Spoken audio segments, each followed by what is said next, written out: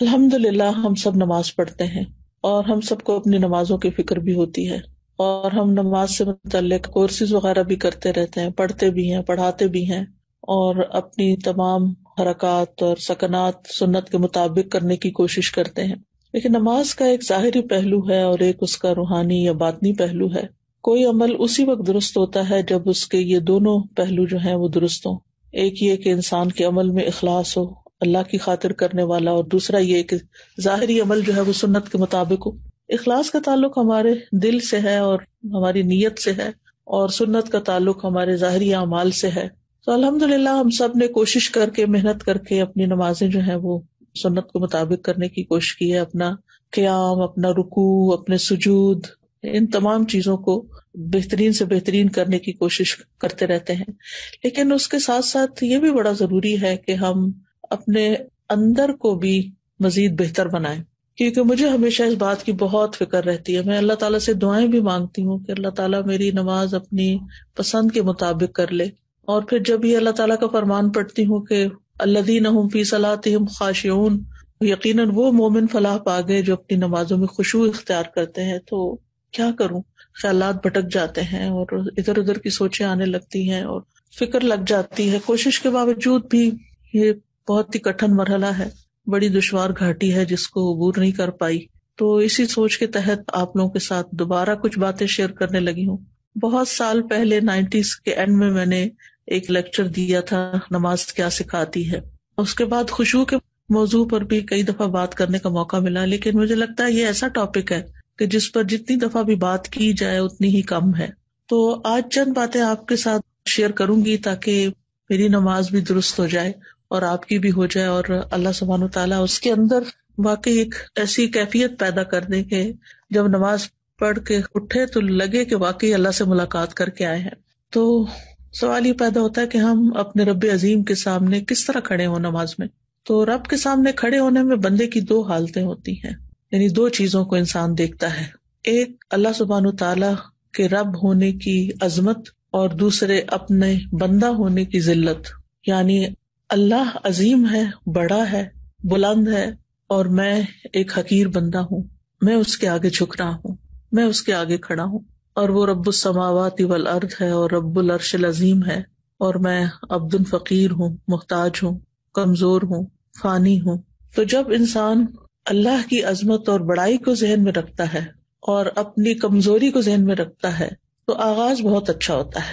جب کبھی میں کائنات کے بارے میں پڑھتی ہوں اس کی وسط کے بارے میں، اس کی حیبت کے بارے میں کہ کس قدر ستارے اور سیارے اور کیا کیا چیزیں اللہ نے تخلیق کی ہیں اور کیا کچھ بنایا ہے۔ ایکچولی میں اپنے انسٹاگرام پر فالو کرتی ہوں، ناسا کی سائٹ کہہ لیں گے جو بھی۔ اور اسی طرح نیشنل جیوگرافک لیکن نیشنل جیوگرافک اتنا فائدہ مند نہیں ہے۔ ناسا جو تصویریں ریلیز کرتا ہے مختلف پلانٹس کی اور مختلف اللہ سب تعالیٰ کی جو تخلیق ہے آسمانوں میں اور نیشنل جیوگرافک بیسیکلی زمین میں جو کچھ مختلف مقامات ہیں، ان کے بارے میں مختلف تصاویر وغیرہ شیئر کرتا ہے۔ اور میں ایسی نیوز کو فالو بھی کرتی ہوں جو نئی نئی تحقیقات اور نئی ریسرچز اور نئی ڈسکوریز سامنے آتی ہیں۔ چونکہ یہ میڈیا جو ہے، یہ مختصر ہوتا ہے۔ تھوڑی سی دیر میں انسان کچھ نہ کچھ جان لیتا ہے۔ تو آپ یقین کریں کہ جس دن میں نے کوئی ایسی چیز پڑھی ہوتی ہے، اس دن میرے دل کی کیفیت ہی کچھ اور ہوتی ہے۔ اور جب نماز میں وہ خیال مجھے آ جاتا ہے، کیونکہ ہم جو کچھ پڑھتے کرتے ہیں، وہی چیزیں نماز میں آتی ہیں نا۔ تو جب وہ نماز میں خیال آ جاتا ہے مجھے، تو واقعی میرے اندر ایک اور ہی طرح کی نماز کے اندر کیفیت آتی ہے اور پھر آنسو بھی گرنے لگتے ہیں۔ لیکن اگر اللہ تعالیٰ کی عظمت کا خیال نہ ہو، تو پھر نماز بے روسی ہوتی ہے۔ پھر ساتھ ہی سمندروں کے اندر کی مخلوقات اور عجیب و غریب مخلوقات اور پرندوں کے رنگ اور پھولوں کے اور زمین کو بھی پوری طرح انسانوں نے ڈسکور نہیں کیا۔ مختلف مقامات کو آپ دیکھیں، باقی تو چھوڑے اگر آپ نے اپنے انڈور کوئی پلانٹس وغیرہ رکھے ہوں گے، جیسے میں نے اپنے اندر ہی کمرے میں رکھے، کیونکہ یہاں باہر تو اتنی سخت سردی ہے کہ نکلنے کا موقع کم ہی ملتا ہے اور سردیوں میں درخت بھی ٹونڈ منڈ ہو جاتے ہیں۔ تو میں دیکھتی ہوں کہ کس طرح ایک پتا نکلتا ہے اور کس طریقے سے وہ گرو کرتا ہے اور تھوڑی سی مٹی یا پاٹ میں کیا چیز ہے اس کے اندر جو مدد دے رہی ہے، اس کو گرو کرنے میں۔ تو اللہ سبحانہ تعالیٰ کی قدرت یاد آتی ہے نا یعنی کائنات ایسی چیز ہے جس میں غور و فکر کرنے سے اور اللہ تعالیٰ کی مخلوقات میں غور و فکر کرنے سے اللہ سبحانہ تعالیٰ کی عظمت کا احساس دل میں بہت بڑھتا ہے۔ یہ کونی آیات ہے نا جن کے اندر ہمیں غور کرنا چاہیے اور اس بات پر ایمان رکھنا چاہیے کہ یہ اللہ سبحان و تعالیٰ ہی کی تخلیق ہے۔ اور پھر اس سے آگے یہ کہ یہ سوچنا چاہیے کہ یہ سب کچھ اللہ کی تصویر بھی کر رہا ہے۔ وہ ام شعی ان اللہ یوسف ہمدی ولا نہ تصویر ہوں یہ ساری مخلوقات اپنے رب کو پہچانتی ہیں، اس کی وحدانیت کی گواہی دیتی ہیں، اس کی حمد کے ساتھ اس کی تصویر بیان کرتی ہیں۔ اور کل ان قدا علی صلاح و تصبیح ہر ایک نے یقیناً اپنی نماز اور اپنی تصویر جان لی ہے، سب کو پتا ہے۔ تو اگر ہم اللہ سبحان تعالیٰ کی اس کائنات کو ذہن میں رکھ کے اللہ اکبر کہتے ہیں یا سبحان اللہ کہتے ہیں تو وہ کیفیت ہی کچھ اور ہوتی ہے۔ اللہ سبحان و تعالیٰ اپنی مخلوقات کی مشابے سے پاک ہے اور ہماری عقل اللہ کی عظمت کا احاطہ نہیں کر سکتی اور نہ ہی اس کے علم کا۔ ولا نہ بشئی امن علم ہی اللہ بماشا اور احسان کے درجے میں نماز پڑھنا ایسا ہے نا کہ جیسے آپ اللہ تعالیٰ کو دیکھ رہے ہوں۔ ہم دیکھ تو نہیں سکتے لیکن ایک احساس ہی ہے نا یہ۔ ورنہ وہ تو ہمیں دیکھ ہی رہا ہے۔ اور پھر اس بات کو بھی ہمیں سوچنا چاہیے کہ اللہ سبحان تعالیٰ اس بات سے بڑا ہے کہ مخلوقات اس کا حق ادا کرے ہم اس کا حق ادا نہیں کر سکتے۔ ہماری عقل، ہمارا خیال اس کا ادراک نہیں کر سکتی لاتری کو لبسار بہو یدر کو لبسار آنکھیں، نگاہیں اس کو نہیں پا سکتی۔ ہمارے دل کی نگاہیں بھی نہیں پا سکتی۔ اور وہ ہمیں دیکھ سکتا ہے ہر حال میں کہ ہم کیسے کھڑے ہیں۔ تو بہرحال ہم ہیں تو اس بات سے قاصر کہ ہم اللہ کی بڑائی کا صحیح معنوں میں حق ادا کریں اور احساس کریں لیکن یہ ہے کہ بہرحال کوشش ہی ہے اور اللہ سبحان تعالیٰ ہر شرک سے پاک ہے، ہر شریک سے پاک ہے اور سب سے بڑا ہے۔ تو جب نماز شروع کرے اور اللہ اکبر کہیں تو بس ساری مخلوق نیچے اور اللہ سب سے بڑا۔ سب چھوٹے اور اللہ ہی بڑا۔ پھر اس کے بعد سبحان اللہ و بحمد کا و تبار قسم کا و تعلیٰ جدو کا ولا اللہ غیر پاک ہے تو اے اللہ، اپنی حمد کے ساتھ تیرا نام بڑی برکت والا ہے، تیری شان بہت بلند ہے، تیرے سوا کوئی معبود نہیں ہے۔ پھر جب صورت الفاتحہ پڑھے تو پھر اللہ سبحان و تعالیٰ کی صفات پر غور کرے بسم اللہ الرحمٰن الرحیم سے لے کر ولادین آمین تک۔ جب ہم کہیں کہ الحمد للہ رب العالمین، تو پھر عالمین کا ذہن میں خیال جائے کہ ان سارے جہانوں اور ساری مخلوقات کو پیدا کرنے والا اللہ ہے، پالنے والا اللہ ہے، ان کی تدبیر کرنے والا اللہ ہے۔ پھر الرحمن الرحیم پڑھے تو اللہ تعالیٰ کے فضل اور رحمت کو سوچیں۔ مالک یوم الدین کہیں تو قیامت کے دن کو یاد کریں اور پھر وہاں جو اللہ سبحان تعالیٰ کا جلال ہوگا اور عظمت ہوگی، اس کو محسوس کریں۔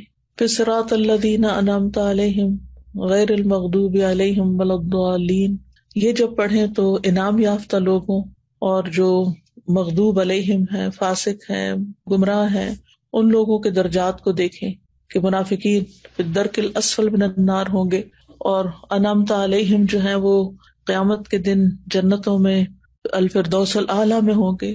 ایک کہاں اور دوسرا کہاں؟ اتنا درجوں میں فرق ہو جائے گا۔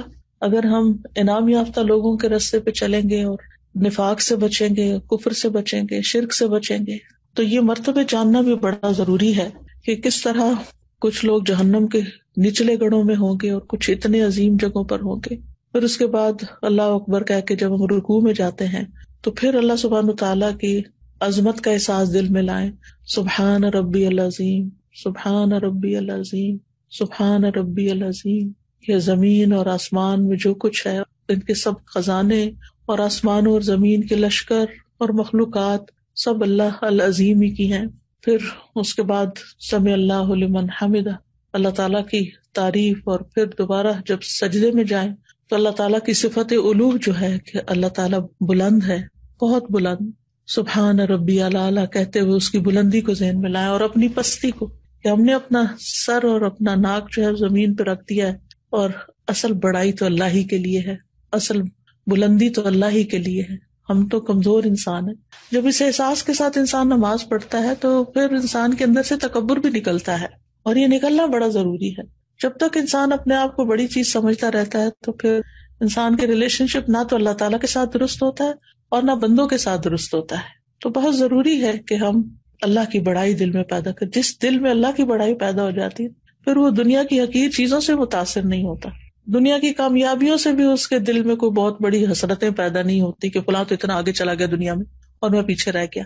کیونکہ اس کو پتا ہوتا ہے کہ میرے رب نے جو کچھ بنایا ہے آخرت میں ہمارے لیے، ہم سب کے لیے وہ کہیں بڑا ہے اس دنیا کے حتام سے، پھر یہ کہ سجدے میں اللہ کے قرب کو محسوس کریں۔ رسول اللہ صلی اللہ علیہ وسلم نے فرمایا، سجدہ کرتے ہوئے بندہ اپنے رب کے سب سے زیادہ قریب ہوتا ہے۔ یعنی اتنا نیچے ہوتے ہوئے اور اتنے چھوٹے ہوتے ہوئے، پھر اتنا اللہ تعالیٰ قرب عطا کرتا ہے۔ سبحان اللہ یعنی کتنی محبت اللہ کے دل میں پیدا ہو جاتی ہے۔ اور پھر اس وقت دعائیں کرنی چاہیے۔ نبی صلی اللہ علیہ وسلم نے فرمایا اکثر دعا یعنی سجدوں میں کثرت سے دعا کیا کرو۔ پھر اسی طرح دوسری رکعت اور پھر تشاہد تشاہد میں اپنے گٹنے زمین پہ رکھ کے انسان جب بیٹھتا ہے آجزی کے ساتھ، تو بہت بڑے بادشاہ کے سامنے ہم بیٹھے ہوتے ہیں۔ آپ دیکھیں کہ پہلے زمانے میں استاد کے سامنے بیٹھنے کا بھی طریقہ ہوتا تھا، جیسے جبریل علیہ السلام نبی صلی اللہ علیہ وسلم کے سامنے گٹنے رکھ کے بیٹھے زمین پر۔ یہ ادب کا بیٹھنا ہوتا ہے۔ اور دنیاوی بادشاہوں کی یہ عادت رہی ہے کہ جب انہیں مختلف تحائف دیے جاتے ہیں یا ان کی تعریف کی جاتی ہے تو ان کے سامنے اسی طرح بیٹھا جاتا ہے اور بہت آجزی کے ساتھ۔ تو اللہ رب العالمین جو ہے وہ تو سب سے زیادہ اس بات کا حقدار ہے کہ ہم اس کے لیے تحائف پیش کریں اور اس سے دعائیں کریں اور اس کی تعریف کریں۔ تو اتحیات میں آپ دیکھیں کہ اتحیات اللہ وسلامات و اسی لیے تو پڑھتے ہیں۔ اور پھر اس کے بعد شریف پڑھتے ہیں۔ نبی صلی اللہ علیہ وسلم کے لیے دعا کرتے ہیں۔ پھر عباد اللہ صالحین پہ سلام بھیجتے ہیں اور پھر اپنی آخر میں دعائیں مانگتے ہیں۔ وہ دعاؤں کی قبولیت کا وقت ہوتا ہے جب ہم سارے ریچول ادا کر چکے ہوتے ہیں، سلام پھیرنے سے پہلے۔ اور پھر جب انسان سلام پھیرتا ہے تو دوبارہ دنیا میں آ رہا ہوتا ہے، ایک طرح سے اللہ سے ملاقات کر کے۔ اور پھر اس کے اندر ایک حسرت بھی آتی ہے کہ کاش یہ نماز لمبی ہو جاتی، کاش یہ ملاقات لمبی ہو جاتی۔ کیونکہ انسان اگر اللہ تعالیٰ سے محبت کرتا ہے تو پھر اس کو جلدی نماز پڑھنے کی فکر نہیں ہوتی۔ یہ جو ہم جلد بازی کرتے ہیں نا، جیسے قید میں کسی نے باندھ دیا ہو اور پھر ٹوٹ جاتے ہیں، ایک دم سلام پھیر کے۔ بعض لوگ تو جیسے بچے کر رہے ہوتے ہیں کہ ابھی لیفٹ سائڈ پہ وہ موڑ رہے ہوتے ہیں تو اپنے گٹنے اٹھا لیتے ہیں اور کھڑے ہونے بھی شروع کر دیتے ہیں۔ تو اس وقت انسان کو پھر اللہ اکبر کہہ کے استخر اللہ کہہ کے، کیونکہ پتہ نہیں کیسی نماز پڑھی، کیسی نہیں پڑھی۔ تو جس کا دل زندہ ہوتا ہے، جس کے دل میں اللہ کا ذکر ہوتا ہے، جس کے دل میں اللہ کی محبت ہوتی ہے، جو دل اللہ سے مانوس ہوتا ہے، جو اللہ تعالیٰ سے سرگوشیاں کرتا ہے، اس کی نماز کا لطف ہی کچھ اور ہوتا ہے۔ اور نبی صلی اللہ علیہ وسلم اسی لیے فرمایا کرتے تھے جب دنیا کے کاموں سے تھک جاتے تھے کہ عقیم یا بلال ارحنا بحا بلال اقامت کو اذان دو تاکہ ہم راحت پائیں۔ تو نماز دراصل ہمیں راحت پہنچانے کا ذریعہ اور آپ اس کو محسوس کر سکتے ہیں۔ اگر آپ باقی اس کا حق ادا کرتے ہوئے نماز پڑھیں تو آپ کو یوں محسوس ہوگا کہ جیسے آپ کی تھکاوٹ اتر گئی۔ فزیکلی بھی انسان اوپر نیچے ہوتا ہے رکو اور سجدہ جم کے کرتا ہے اور پھر صحیح معنوں میں دعا بھی کرتا ہے۔ تو آپ اس کا ایکسپیرئنس کریں گے اور کیا بھی ہوگا کہ کس طرح آپ ریلیکس ہو کے اٹھتے ہیں اور آپ کی ایک نرشمنٹ ہو چکی ہوتی ہے اور روحانی طور پر بھی آپ اسٹرانگ ہوتے ہیں فزیکلی بھی آپ ایکٹیو ہو جاتے ہیں اور ایک عجب خوشی لے کے آپ اٹھتے ہیں، جیسے آپ نے سارے بوجھ اتار دیے۔ اور یہ بھی ایک حقیقت ہے کہ جب انسان رکو اور سجدہ کرتا ہے تو اس کے گنا اس کے کمر پہ لا کے رکھ دیے جاتے ہیں اور پھر وہ اٹھتا ہے تو وہ گر چکے ہوتے ہیں۔ تو نماز کے بعد وہ گناہوں سے پاک ہو چکا ہوتا ہے۔ تو اللہ سبحان تعالیٰ سے دعا ہے کہ ہمیں اللہ تعالیٰ نمازوں کا حق ادا کرنے کی توفیق دے اور جو باتیں ہم نے کی ہیں ہمارے عمل میں لے آئے۔ اللہ سبحان تعالیٰ ہمیں اپنے مخلص بندوں میں شامل کرے، ان لوگوں میں جن سے اللہ تعالیٰ محبت کرتا ہے، اور ہماری نمازوں کو واقعی اللہ تعالیٰ ایسی نمازیں بنا دے کہ جو ہمارے حق میں حجت ہو ہمارے خلاف حجت نہ ہو اور جب ہم اللہ تعالیٰ سے ملاقات کریں، تو جس طرح اس ملاقات میں ہمیں ایک طرح سے خوشی نصیب ہوتی ہے، اللہ تعالیٰ وہاں بھی ہمیں اپنی ملاقات کے وقت خوش کر دے اور ہمیں بخش دے یعنی ہمارا محاسبہ نہ کرے۔ اگر ہم اس دنیا میں اپنی نمازوں میں اپنا محاسبہ کرتے رہتے ہیں تو ان شاء اللہ اللہ سبحان و تعالیٰ آخرت کے حساب کو آسان کر دے گا۔ نماز کے فائدے۔ نماز آنکھوں کی ٹھنڈک ہے۔ رسول اللہ صلی اللہ علیہ وسلم نے فرمایا، اور میری آنکھوں کی ٹھنڈک نماز میں رکھی گئی ہے۔